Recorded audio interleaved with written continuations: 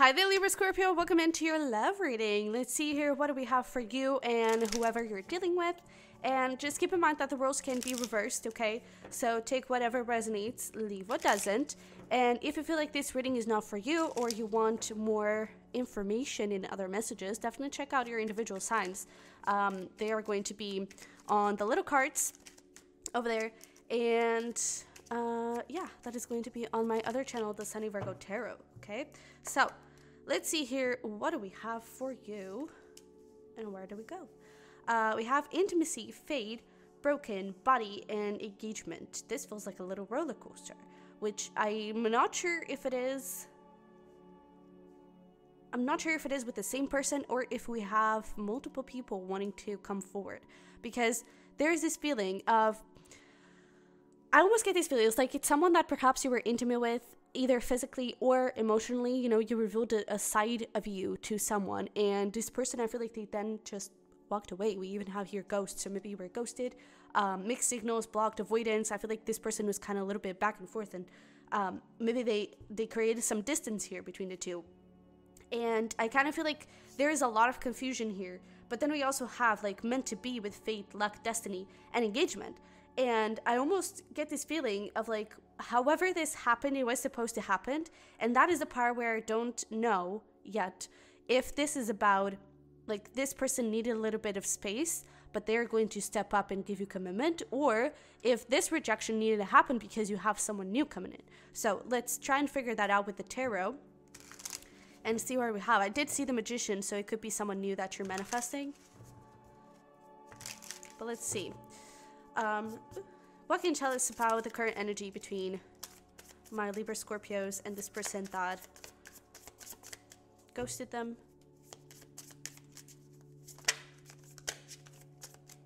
Alright, we have a lot, but we do, yeah, Five of Pentacles. Uh, we also have the Nine of Swords, Eight of Cups.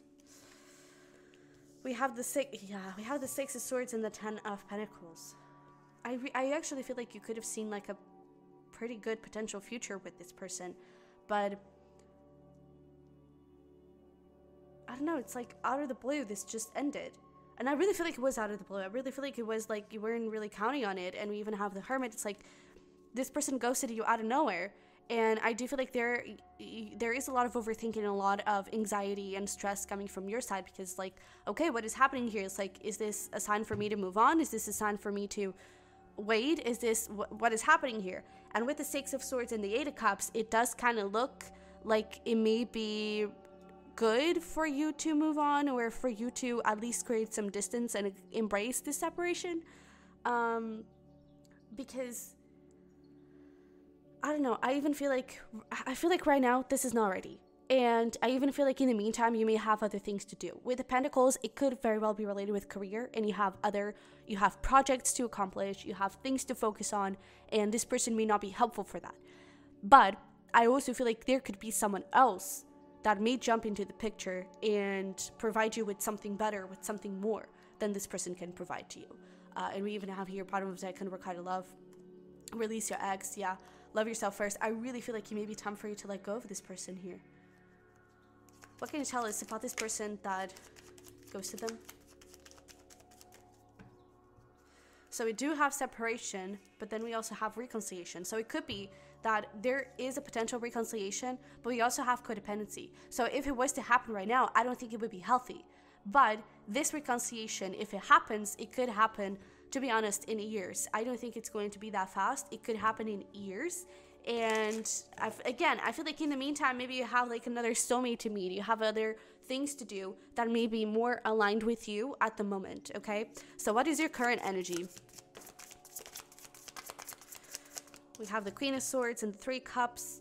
To be honest you could already be connecting with someone but i do feel like you're in a very like no bs kind of energy and i love that for you because i feel like you know what you want and it is these two cups and if this person can give you that then it's like screw it i'm gonna move forward you know um, and I definitely feel like you were in a very, I don't know, you don't want to, you don't want to stick around for too long, like past the time that you should stick around.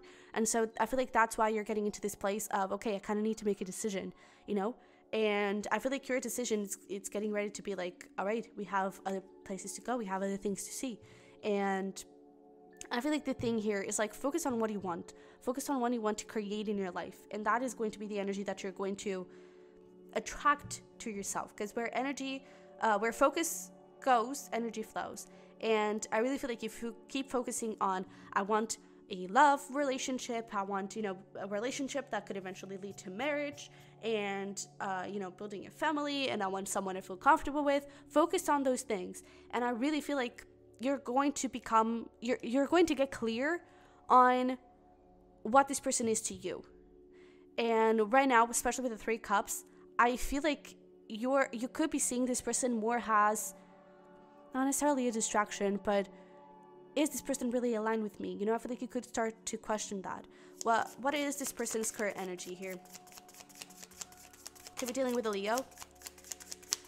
Doesn't have to be though.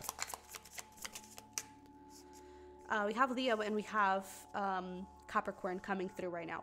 But uh, Queen of Wands and Queen of Pentacles. This is very me, me, me, me, me, me, me because Queen of Wands, that is a very passionate energy. I do feel like they are very passionate towards you and they have a lot of attraction. But um, with this Queen of Pentacles attached to it, it gives me the, the feeling of I know who I am, I know I can't have anyone, and I'm just focused on myself and my career and my life right now. You know, and I feel like they're just looking into new things and they're just looking into the outside world. Um, and so I don't think that their focus right now is too much on having a commitment of any type and they could definitely be in a more playerish kind of thing. So, you know, with this fate and the broken, it does give me the feeling of like rejection is God's protection, and I feel like you may have better things here. So, how are you feeling about this person and this whole situation? We have the Two of Pentacles. Yeah, I really feel like you're going like a little bit back and forth. It's like, I need to make a decision. Ace of Swords, right? I need to go somewhere, and I, I just don't want to stay here. So I feel like right now you could even be making a decision to focus more on your career, but I feel like you you also want this commitment. So to be honest, I feel like you have someone new coming in, and maybe it is good for you to move on and see what is out there. You know, how is this person feeling? Ace of Cups with the King, King of Wands. I that is the thing. I kind of feel like they do want something else with you, but at the same time, it's like, oh, but let me keep my options open because if this doesn't work out, then I'll have my options open and I'll be able to go towards someone else. So this person, I don't think that they're too reliable right now, to be honest. And it's just like a little heads up, be careful about that. What are your intentions and next actions?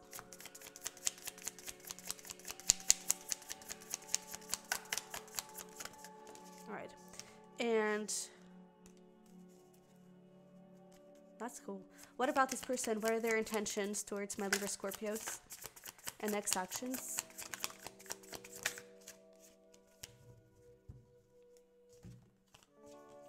Alright. So, for you, I actually see you kind of, you know, connecting with different people, going into new beginnings, and I feel like your energy is definitely focused on the two cups. You know, on I want a relationship, I want something solid, I don't want to be like fooling around and, and just not getting what I deserve.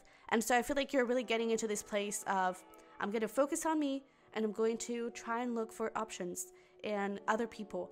And actually, that causes a lot of anxiety and i feel like it almost serves as a wake-up call for this person and then they could come forward like out of the blue we even have here the tower they could come forward out of the blue with oh wait no i kind of have feelings for you and i kind of want this and so I do feel like the second you kind of step out into the world and you look what uh, at what is out there, this person comes forward with communication and wanting to, you know, wanting to get you back. Um, but I really feel like, like as we speak, it's almost like if it is just up to them, it's not going to happen. But if they get triggered by jealousy and if they get triggered by seeing you with someone else, then it may actually happen and this person is actually going to come forward. But it's almost like they need that thing of like, hey, Libra Scorpio is moving on. Uh, they need to see it, they need to feel it, they need to be acknowledged, they, they need to be aware of it for them to actually move forward. Because otherwise, they're just going to stay in their fears. Because I feel like the way, the reason why they don't step up with you is because they have a lot of fear of getting hurt and this thing not working out. That's why they want to keep their options open. Um, and actually, tell me more about this King of, of Swords.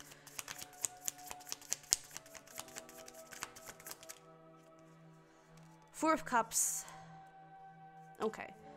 So this is actually good because I do feel like they would be, you know, more willing to put and invest in on you. But again, they only will come forward with communication if they feel like they have missed a shot. It's like it's only when they see you thriving in this empress energy and connecting with others that they actually step up and go towards you. Are you going to be available then? Because there could actually be someone new coming in that, you know, maybe more aligned with what you want. Uh, so what can you tell me about new love? Okay, so there could be a past life lover coming in. Um, we have past love, self, and we have uh, divine and fear.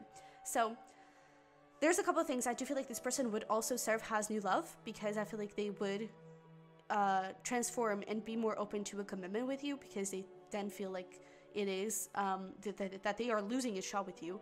But I I do feel like your energy right now towards new love, you may want it, but I also feel like you're a little bit conscious about it. It's like, yeah, well, yeah, okay, but mm, I don't know. You know, let, let me have my time for myself, you know? And I feel like you, you could be a little bit frightened that this person is going to just, the new love, it would just, you know, come back again and, um, um, sorry. I feel like you would get into this place of like, oh, this new love is just going to end like the, like this or like my previous relationships and um, they're just going to get bored and they're going to walk away and everything. And I feel like that is something that could be blocking you from actually bringing in someone new. But I do feel like, you know, your guides have some sort of a plan for you. And I definitely feel like they kind of want to. They, they want to connect you with someone else that may be very aligned with you spiritually, uh, but I also feel like you still have history with this person to uh, develop. So I feel like then it's going to be up to you because I feel like when this person comes forward, it if if you meet someone in the meantime, it's going to be in the very beginning stages, you know? So it's either you explore more of the new love or you kind of give this person a shot. So I feel like then it would be up to you. We also have Aquarius energy here, by the way. Um, but yeah, let's see here. We have here your confidence intimidates me. That clearly wanted to come out from this person. what are what what what did this person want to say? I promise I won't hurt you anymore. I'm serious this time. Uh, all this time I thought you were wrong. I'm seeing the truth now. Uh, you deserve someone better. I did see you're so hot all I want is sex though. So again, I feel like this person is still a little bit into the player-ish kind of energy and wanting to keep their options open like we said before. And i feel like it is only it's truly only when they see you or they think that you're seeing someone else that they are going to step up. Until then i really don't see that happening. So uh yeah. But don't like i mean i'm saying this but like don't go and just meet someone just to make this person jealous okay do it because you truly want it and because you're truly ready for it otherwise i feel like it would be good for you to focus on yourself and focus on your career um, because you clearly have things to accomplish. But you know, in terms of potential, I do feel like when this person kind of gets their BS together, um, I do feel like this could have a beautiful, beautiful potential. But this person kind of needs to get shooken up, and I feel like the only way for that to happen is for you to see someone else. That's what it appears. Uh, I'm becoming a better person. I'm changing. I promise. I see you thriving, and I couldn't be prouder. What else do we have? I kind of feel like this person could also still be spying on you in some way. Uh, I ruined everything, didn't I? The more we talk, the more I love you. Yeah, and I feel like that was starting to scare them, you know, because they didn't want they didn't want to catch feelings.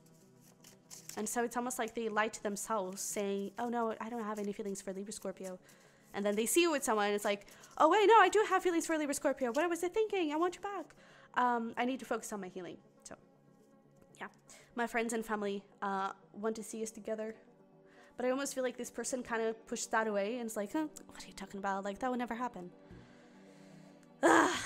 Gosh. All right. Any final messages or advice for my Libra Scorpios?